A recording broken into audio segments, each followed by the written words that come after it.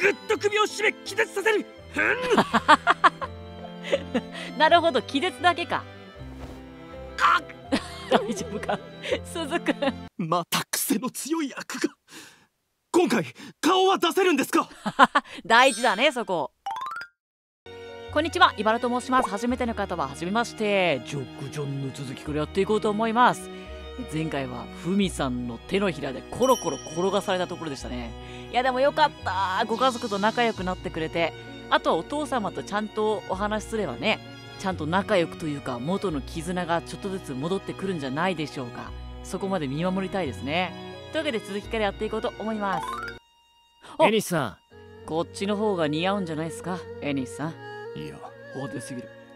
そんなことないですよ。ほら。ん。ああ来た。お疲れ様です。どうかされたんですか？エニスさんがジオで使うセンスを新調するんだと。なのに適当に選ぼうとするからさもっと合う色味にすりゃいいのにって。わ あ美意識がしっかりしてるなふみさん。かっこいい。お前が選ぶものは派手なんだよ。講師が派手なセンス振り回したら気が散るだろ別にそんな派手じゃないですって。なあキサ。はい。イエスマン。はいほーら2対1だ。2人揃って担任をからかうな。自分で選ぶ。しゃあねえな。じゃあエニシさんが選んだセンスさばき楽しみにさせてもらいますか。圧をかけるな。これに関しちゃお前が上だろ。エニシさんって何教えてくれてるんだっけ？みんなお集まりだね。ほら見てごらん12月24日木曜日に行われる冬公演の台本だよ。徹夜明けのテンションやん。冬公演はそれでクラス優勝狙いに行くんすね。行かない。え？え？どういうこと？初めに言っておきます。今回の舞台捨ててます。え？珍しい。はいはい静かに。先日の秋公演我々クォーツは視力を尽くした。一方アンバーは1年メインの構成で田中右注意を温存したままだ。ああなるほど。今のままじゃアンバーには勝てないってことですね。そういうことだね。じゃあ冬公演はクォーツ強化を目的にして最終公演で優勝狙いに行くって算段か。なるほど。今回の公演をバネにするんだ。察しがよろしい台本も今までのものとは毛色が違う高等無形なお話になっている。口頭向け。自分で言うのもなんだけど何が面白いのかわかんない。本当に自分で言うことじゃないよ。ネジ先輩が考えたのに？君たちの力で面白いものに仕上げておくれ。あでもそれもそれで楽しいんじゃない？では発表しましょう。冬公演僕らが演じるのはオーラマ・ハベンナハベンナオーラマ・ハベンナ舞台は欲望と快楽の街ハベンナ星の瞬きをかき消すネオンの光月をも隠す人の闇おお歓楽街みたいな感じかな人々は口々に歌うオーラマ・ハベンナ欲望を恥じなくともよいおおオーラマ・ハベンナ快楽を受け入れればよいなんか明るい人たちが多いな。そんな荒れすさんだ街の中ハベンナ色に染まる女性とハベンナの匂いを拒む女性がいた。二人は友達だった。これは彼女たちの友情の行く末と彼女たちを取り巻く人々が織りなす群像劇だ。それでは配役発表といきましょう。まずはハベンナ色に染まる女性チッチ。チッチ。アルジャンヌ。おうアルジャンヌ。ふみさんか。今回の主役だ。アルジャンヌってことはフミさん？これに？立花キザえ？立花がアルジャンヌしかも主役。今じゃない。最終公演で選んでほしい。そういうことなのか？どういうこと？へえ何？教えて。待ってください高階先輩の間違いじゃないんですか？ジャックですよこいつは。ああそのジャックのイメージが固定されてるんだな。嬉しいなそれも。大鳥くんがそう言っちゃうくらいジャックが板についてきたんだね。うん確かに。しかし今回はアルジャンヌ役の説明をするよ。立花君が演じるチッチは路地裏にあるポンタルチアという店でよもぎ売りをしている。おうよもぎ売り？売れるかよもぎ。よもぎ売り？よもぎ売りはハベンナで最も卑しいとされる仕事だ。えー、そうなの？よもぎ虫好きですよ私。どれ？実演してみせよう。織巻くんこっち来て。え俺？ウエス。素直やな。よもぎ売りは男を部屋に招き入れるとよもぎを炊く。よもぎの香りが充満してきたところで男の背後に回り。あわかった。暗殺者ってこと？男の首に腕を絡ませ引き寄せる。殺すんだ。ええちょちょっと。そして。そして？ぐっと首を絞め気絶させる。ふん。なるほど気絶だけか。大丈夫か？鈴くん。すずくん。血の気が引いてるはいありがとう。これがよもぎ売りだ。まあそっか気絶させて有り金盗むとかそんな感じかな。なんでこんなことするんすか？よもぎ売りは不眠症の男たちに眠りを与えるお仕事なのさ。強制的にね。あなんか想像してたのと違った。なるほどね。まあ確かに不眠症の人たちにとっては強制的でも嬉しいのかな。眠らず王みたいな奴らが通ってくんのかチッチは優秀なよもぎ売りだ。男たちを落とすのが早くて人気がある。そんなことで人気あるのか。なんだかすごいアルジャンヌですね。なんだかすごいアルジャンヌは一人じゃないよ。どういうことですか？何せ今回はダブルアルジャンヌ体制で行くからね。ああそうだよね。今回友達同士で女の子と女の子だからアルジャンのダブル制かダブルアルジャンヌ？なんすかそれ？ジャックエースは？今回いません。あいないそれに相当するジャックはいるけどね。あなるほど。最初に言ったようにこれは2人の女性の友情の行く末を描いた物語だ。うん。あでもあんまりないんだねそのアルジャンヌ2人制ってのがハベンナ色に染まる女性とハベンナの匂いを拒む女性。でしたよね。そう！いかにもハベンナらしい仕事についているチッチはハベンナ色に染まる女性だ。じゃあハベンナの匂いを拒む女性がもう一人のアルジャンヌそっちがフミさんか。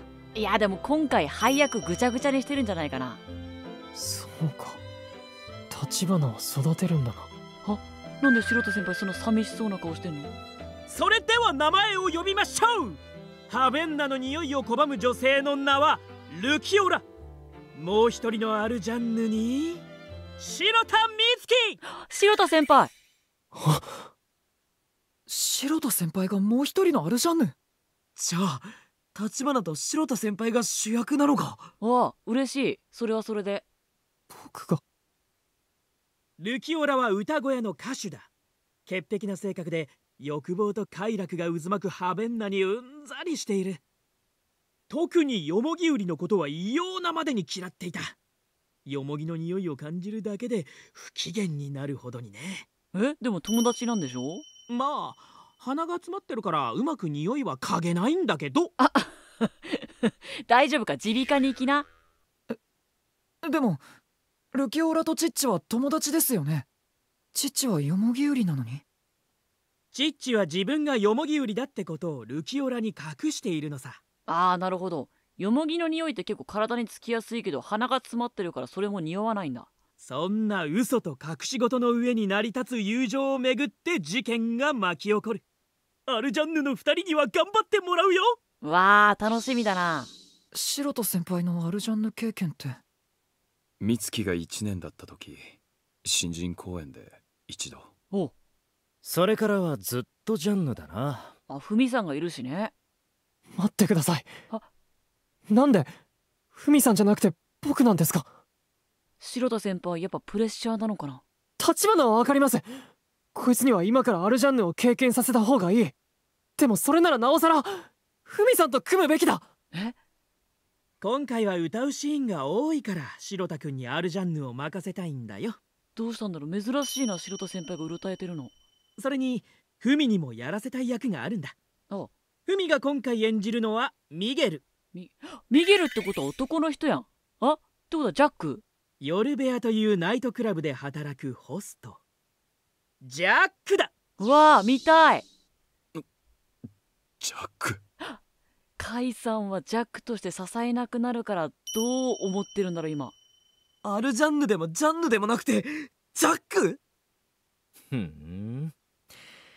なるほどね。どうだフミさん？クロウどんなやつなんだ？ミゲルは。冷静だね。ミゲルは甘いマスクと軽快なトークで女性を魅了する夜小屋のナンバーワンホストさ。フミさんや 当て書きか？だけどルキオラへの愛はうまく伝えられない。かわいい。軽い言葉をまくし立てる裏で歌姫に思いを寄せてるってわけか。渦巻く思いは眠りを遠ざけ彼もハベンナの男たちと同じく不眠症だ。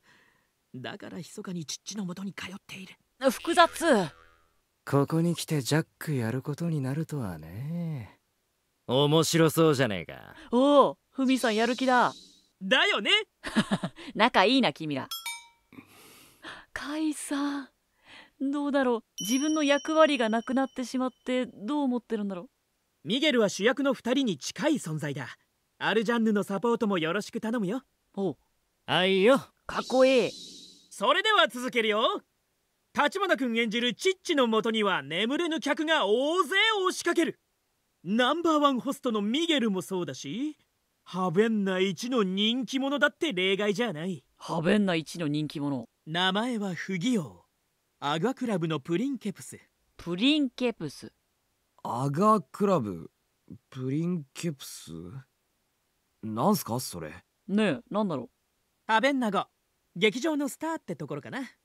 ハベンナの女性はみんな彼に夢中だ。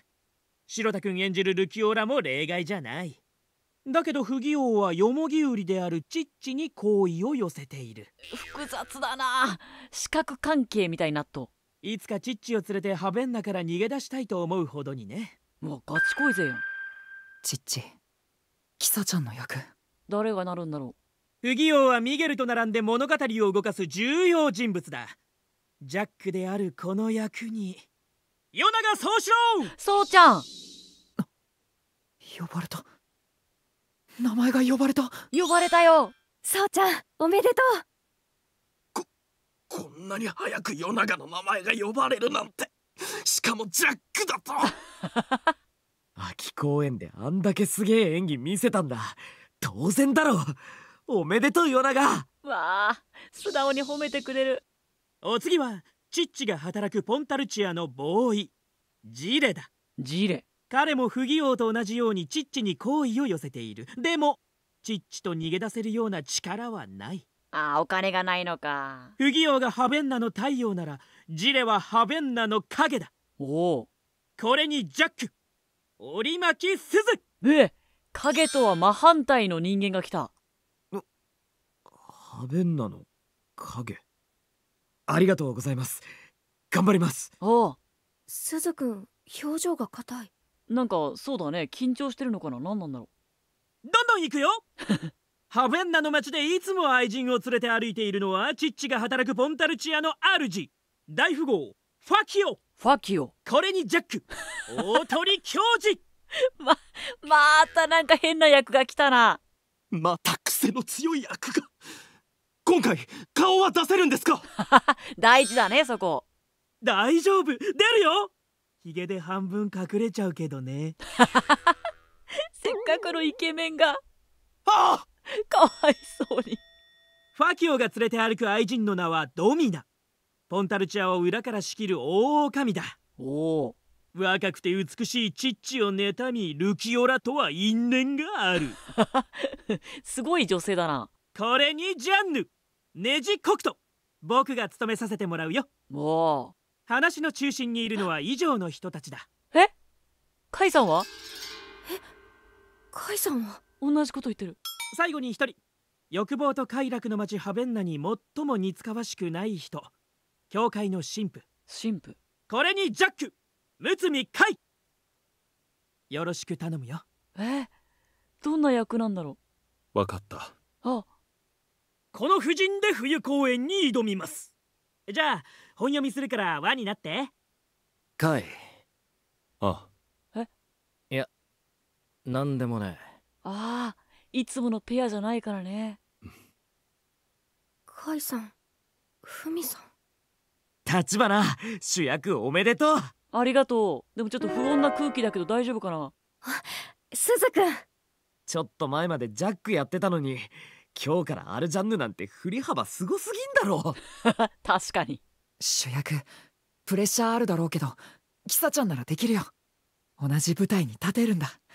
僕も頑張る。うわーそうちゃんが前向きになってる。今の夜長なら何でもやれちまいそうだな。なんか鈴くんの方がなんかちょっと控えめというかなんかなんだろうな言葉にできないけどどうしたんだろう鈴くん。